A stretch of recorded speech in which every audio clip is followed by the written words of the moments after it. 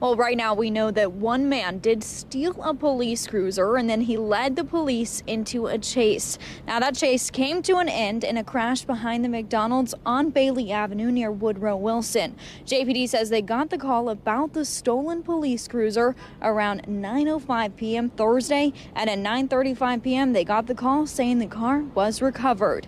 JPD says the suspect is in custody at this time. Both JPD and Capitol Police were involved in this chase, and right now there's no information on if any others were injured in the crash. Now we're working on getting the name of the suspect as well as more information on how this police cruiser was stolen.